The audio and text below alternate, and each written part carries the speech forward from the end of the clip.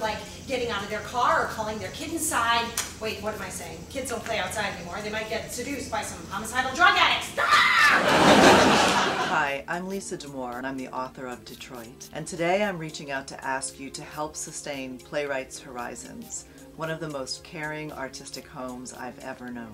For me, it really is a writer's theater, and they pride themselves at identifying uh, uh, new talent and getting also good work from a stable of writers that they've worked with in the past. I also noticed this season it's unbelievably fortuitous that they're presenting so many female playwrights as well. I think five out of the six or, or five out of the seven shows are, are written by women.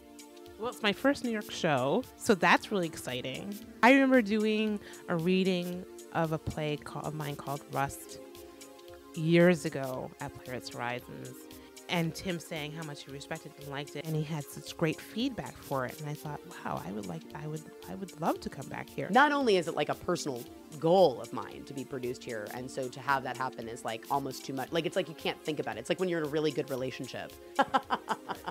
Get them knocked up as soon as possible.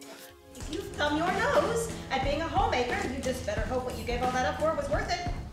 I kind of you know, sort of grew up in the theater feeling like that was where the really cool, deep, interesting young playwrights wanted to work.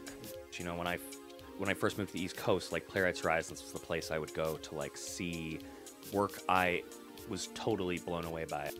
Thank you so much for supporting Playwrights Horizons. That has been such an amazing home for my play, The Whale.